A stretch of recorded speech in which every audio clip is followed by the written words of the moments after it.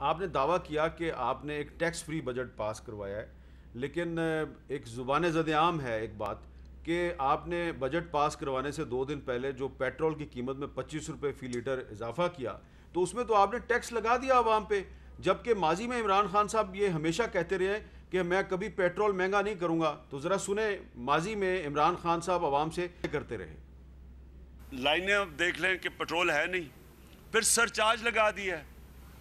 Surcharge petrol के ऊपर भी लगा दिया है बिजली पे भी लगा दिया है ना पानी है ना बिजली है ना गैस है ना रोज़गार है महँगाई वैसी ही इस्पानों पे हर दूसरे दिन बिजली ऊपर कभी पेट्रोल डीजल। तो लोग पिस गए हैं बेचारे। अस्सी फ़ीसद टैक्स है डीजल के ऊपर। वो टैक्स इकट्ठा नहीं हो रहा उसके लिए अवाम के ऊपर लगा दिया टैक्स। ये जो डीजल और पेट्रोल की कीमत बढ़ाई है अवाम देगी बेचारी। हम बिजली और गैस के ऊपर टैक्स कम करेंगे।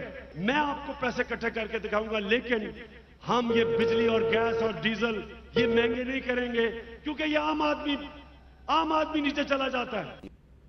जी बस जी बस मेरा सवाल ये आपसे शाहमुद कुरैशी साहब कि ये टैक्स फ्री बजट कैसे है? आपने जो पच्चीस रुपये लीटर पेट्रोल की कीमत बढ़ाई है उसमें टैक्स तो लगा दिया है लेवी भी लगा दिया है उसको बढ़ा दिया है?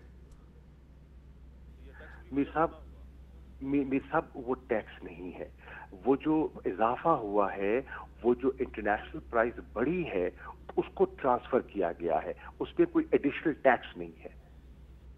चलिए ये आपका मौकफ है। अब जरा आखिर में ये बता दें कि आज वजी अला सिंध मुराद अली शाह साहब की तरफ़ से बयान आया कि वो फेडरल गवर्नमेंट के लिए टैक्स कलेक्ट नहीं करेंगे। तो इस सूरत हाल में उनका जो बयान है, उस पर आप क्या तबसरा करेंगे?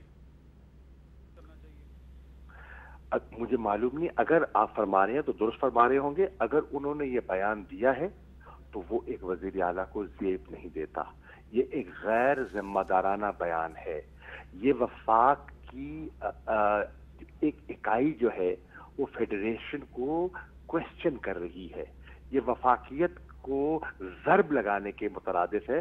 मैं वज़ीर अला सिंध से ये तो नहीं करता। बहुत बहुत शुक्रिया वज़ीर खारजा जनाब शाह महमूद कुरैशी साहब और आखिर में कहा कि वो मुराद अली शाह साहब से ये तो नहीं करते थे कि वो फेडरल गवर्नमेंट के लिए टैक्स कलेक्ट करने से इनकार कर देंगे।